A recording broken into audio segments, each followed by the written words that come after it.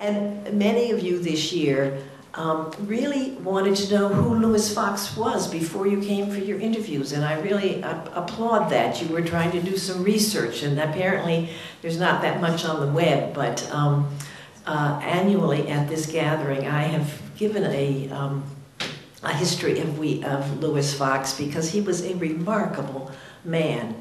And as, as um, uh, Art said, um, it is because of his generosity that we have had uh, close to 900, I haven't, I've lost track of the exact number, 900 young people that have re received, almost 900, who have received Fox Scholars.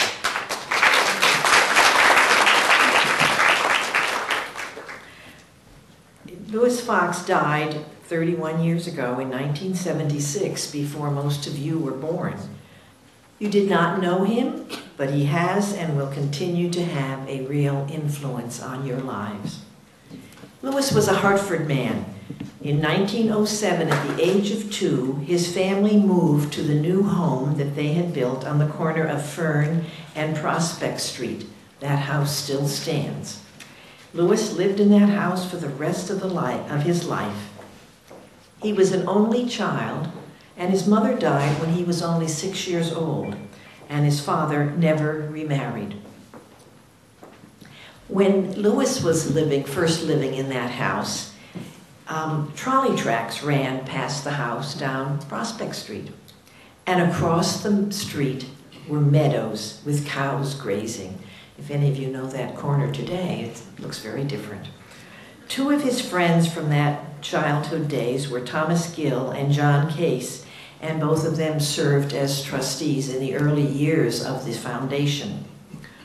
As today, the neighborhood elementary school was Noah Webster, so renowned that children from neighboring West Hartford streets were allowed to attend for a small fee. While at Noah Webster, Lewis was stricken with infantile paralysis, which left him with a serious speech defect. His family was wealthy and took him to the best doctors in Boston and New York, but they had no positive uh, results in helping him. He moved on to Hartford High, and one of his teach English teachers, who was trained as a speech therapist, offered to help him.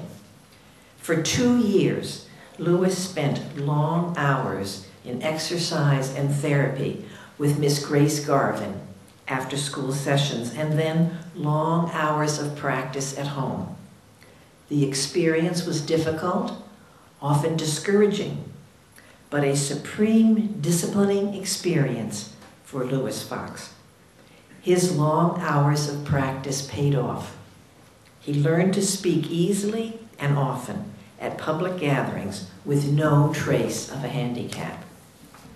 Those of you at Bulkeley know of the Grace Garvin Citizenship Prize established by Mr. Fox in memory of Miss Garvin, who ended her teaching career at Bulkeley.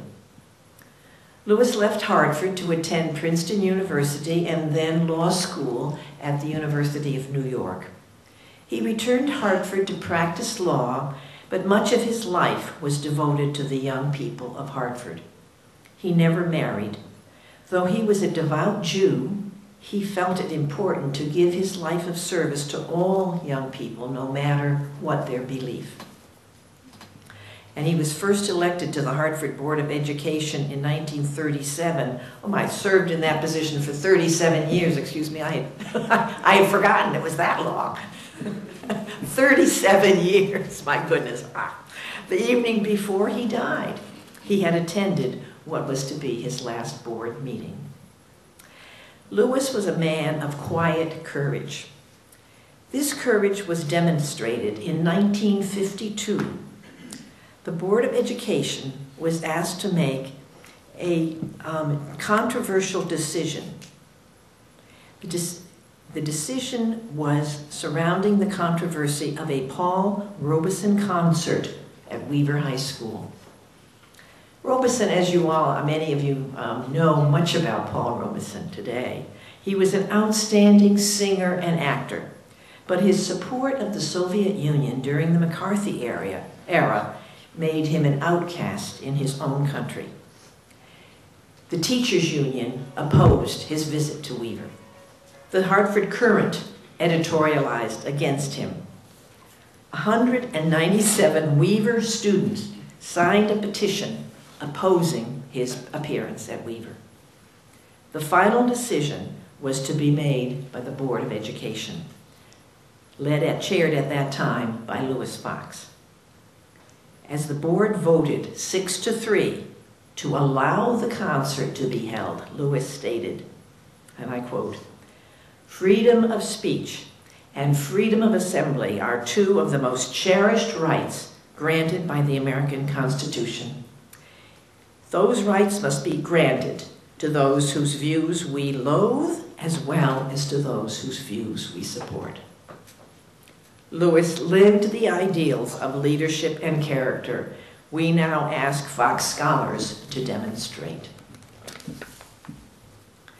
When his father died in 1936, Lewis established the Scholarship Foundation in memory of his father, Jacob Fox.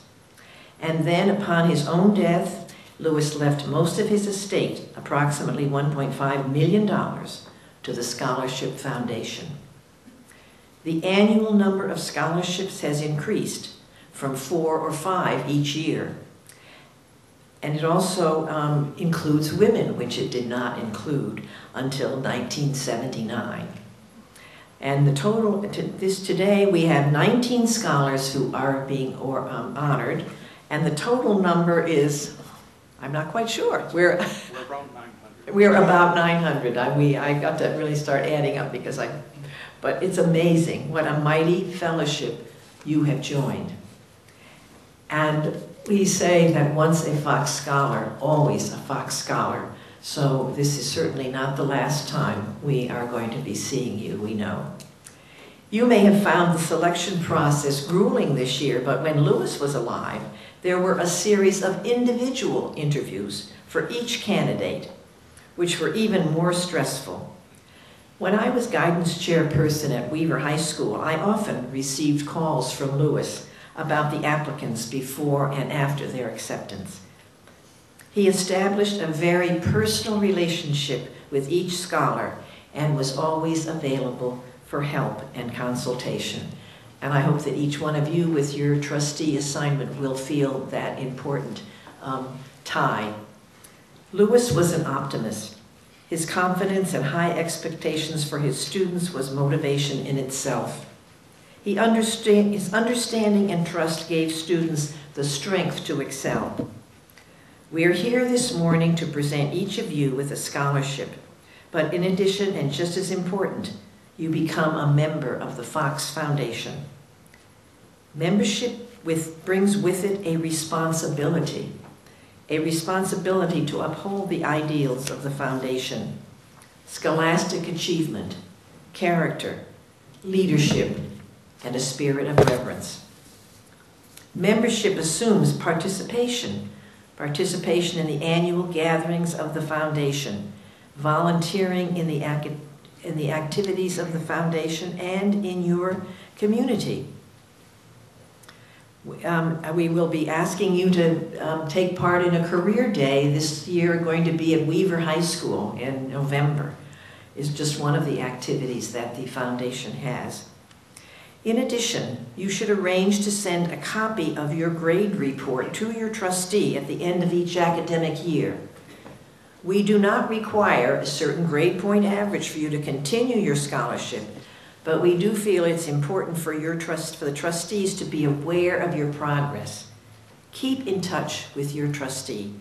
We can provide you with more assistance than just access to your scholarship. We, as trustees and earlier scholars, share the faith that Lewis Fox would feel if he were here today, that each of you is going to accomplish something extremely worthwhile in life, and that you will measure up to the ideals of the foundation which were the basis for your selection as a Fox Scholar. Today, I welcome you into the Fox Foundation family.